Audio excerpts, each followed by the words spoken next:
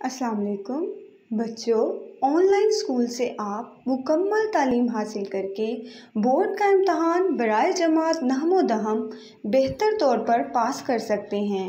अपनी उम्र और तलीम के मुताबिक मज़ीद तलीम हासिल करें। वालदेन से फ़ोन या कंप्यूटर पर हमारी वीडियोस के ज़रिए तलीम हासिल करने की दरख्वास्त करें। रोज़ाना एक से दो घंटे ऑनलाइन पढ़ाई करें और जब आप स्कूल जाएँगे तो आपको मज़ीद किसी मदद की ज़रूरत नहीं होगी। इस तरह पढ़ाई करके अपना वक्त और वालदेन के अखराज में बचत कर सकते हैं। ऑनलाइन स्कूल की कोई फ़ीस नहीं है। जूम पर भी क्लासेस का फ़ायदा उठा सकेंगे। हर क्लास और हर मजमून की मुकम्मल तालीमी वीडियोस मौजूद हैं। अज़ीज़ तलबा तलबात फ़रूक फाउंडेशन ऑनलाइन स्कूल के ज़रिए यकसा नसाब के मुताबिक तालीम हासिल करें।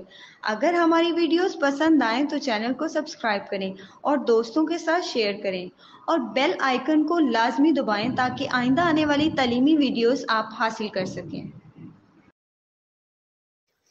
Assalamu alaikum dear students this is Kanat and I am teaching you class 10th biology so now we are going to start the chapter number 15 on page number 94 inheritance inheritance basically क्या होती है कि खसूसियात का एक नस्ल से दूसरी नस्ल में मुंतकिल होना so firstly we will talk about the major concept in this chapter इस चैप्टर के अंदर हम लोग पढ़ेंगे इंट्रोडक्शन टू जेनेटिक्स जेनेटिक्स क्या होती है क्रोमोजोम एंड जीन्स क्रोमोजोम और जीन्स क्या होते हैं Mendel law of inheritance Mendel law of inheritance क्या है?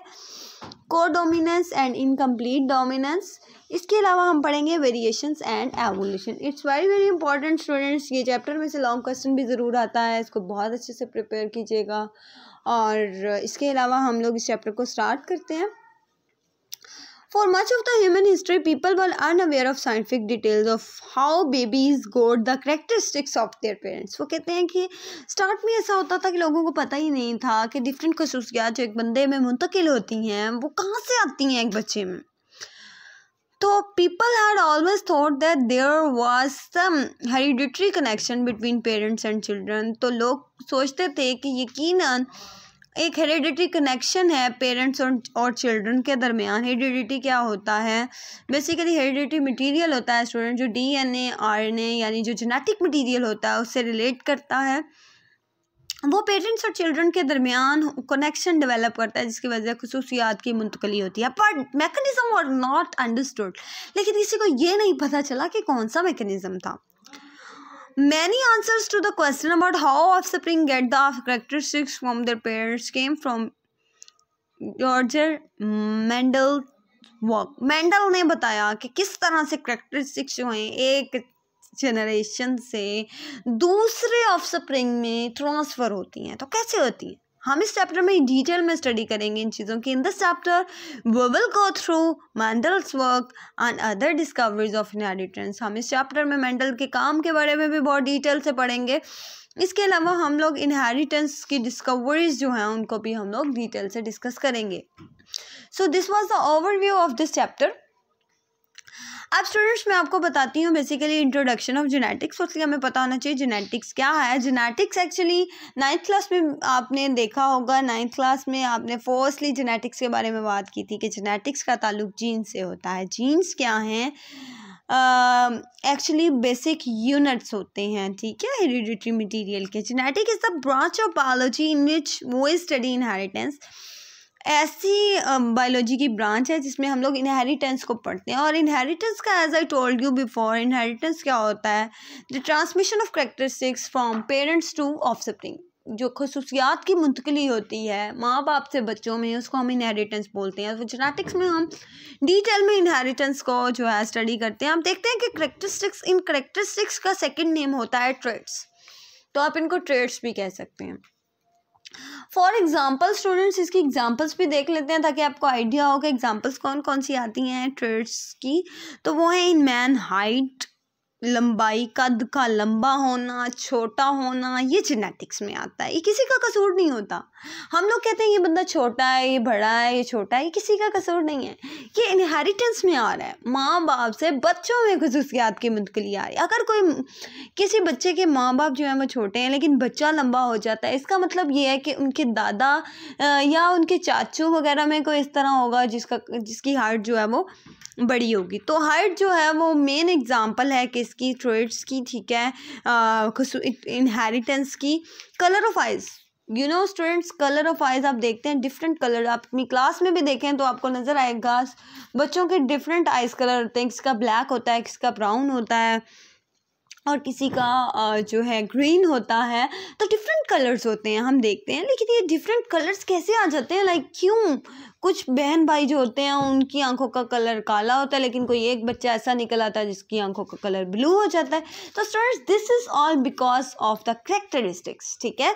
ये क्या इनहेरिटेंस की वजह से होता है? जो जीन्स हैं ट्रेड्स हैं वो क्या हो रहे हैं? कि नस्ल दर नस्ल मुंतकिल हो रहे हैं। So so, number third example is intelligence अब देखें आप लोग नलायक हैं या लाइक हैं, इसका ताल्लुक बेसिकली किस चीज़ से आ रहा है? इस चीज़ का ताल्लुक किस चीज़ से आ रहा है कि आपके पेरेंट्स से, ठीक है? अब ये मत कहिएगा कि अब आप अपने पेरेंट्स से बात करने लग जाएँ कि जी, आप नहीं पढ़ते थे तो हम नहीं पढ़ते, ऐसी बात भी नहीं है। अगर आप खुद नहीं पढ़ेंगे तो ये आपकी कमत नहीं अगर आप याद करते हैं और आपको याद हो जाता है तो फिर ये चीज़ है कि आप इंटेलिजेंट हैं, लेकिन केयरलेस हैं। तो पेरेंट्स को इसके बारे में बिल्कुल ब्लेम नहीं देना। यहाँ पे इस वो एग्ज़ाम्पल का मतलब बिल्कुल ये नहीं है कि आप अपने पेरेंट्स को कहना स्टार्ट करें। आपकी वजह से जी, हम नहीं पढ़ते। तो ऐसा बिल्कुल नहीं है। हर स्टूडेंट लाइक होता है। और एक और बात मैं आपको इम्पोर्टेंट बताती चलूँ बेसिकली बेटा आप लोग देखते हैं आपके जो दिमाग है, उसके अंदर सेरिब्रम जो बड़ा लार्जेस्ट पोर्शन होता है, उसमें जितनी क्रीजेज आती हैं ना, जितने वो फोल्ड आपको स्पेशली अभी दिमाग के नाम से आपके जहन में जो फ़ोटो आई है, उसी की बात कर रही हूँ मैं।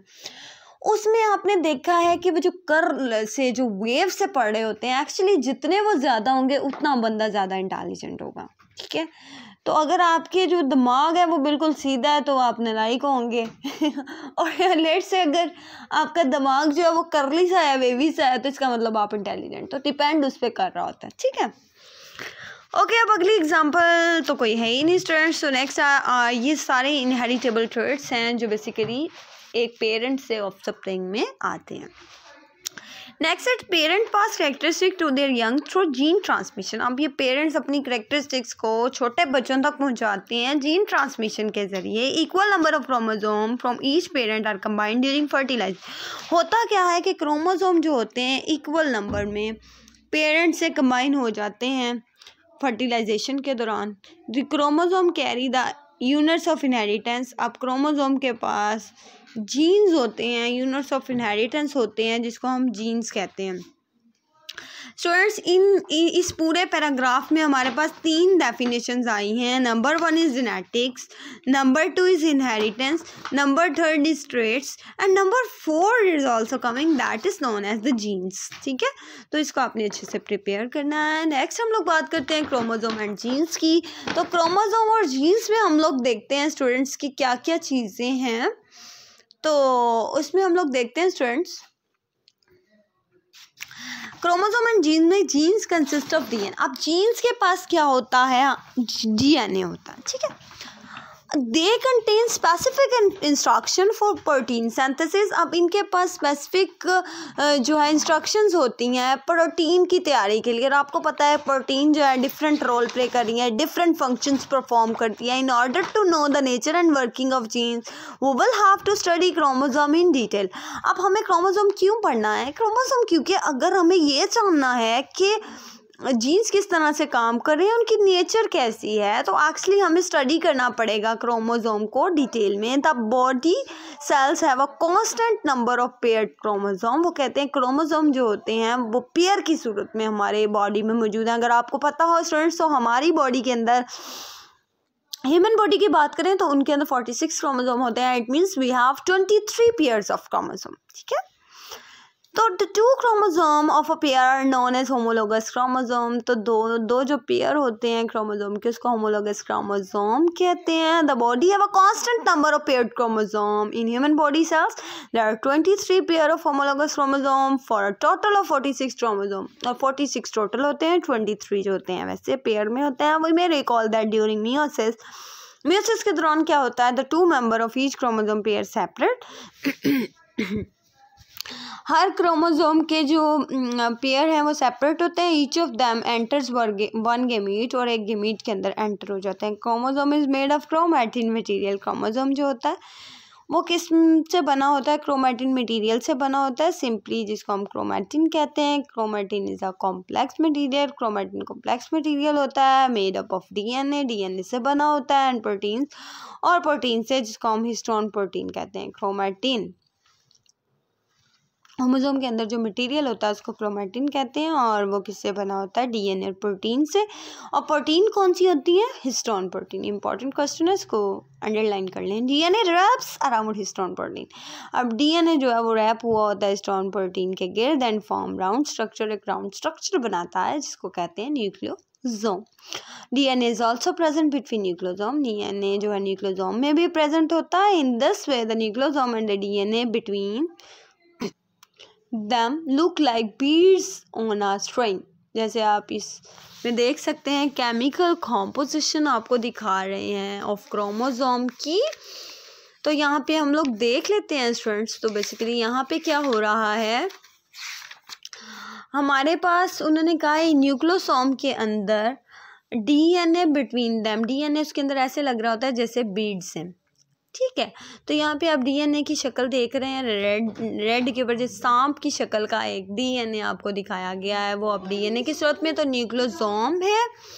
उसके बाद हमारे पास आता है fibre consisting of nucleosome condense into compact form वो कहते हैं फाइबर्स जो न्यूक्लोजोम के अंदर हैं, वो कंडेंस होते हैं और कम्पैक्ट फॉर्म में and get the structure of chromosome and get structure of chromosome और उसके बाद वो क्रोमोजोम का स्ट्रक्चर जो है वो बना लेते हैं। यहाँ पे आप देख सकते हैं डीएनए भी है न्यूक्लोसोम भी है डीएनए बिटवीन न्यूक्लोसोम किस तरह से होते हैं प्रोटीन हिस्टोन कैसे होता है तो केमिकल कॉम्पोजिशन हमने क्रोमोजोम की देख ली है। तो this is all about chemical composition of chromosome thank you very much, students next we will discuss about the watson crick model of dna और इसके साथ साथ हम डीएनए एप्लीकेशन को देखेंगे। तब तक के लिए thank you so much Allah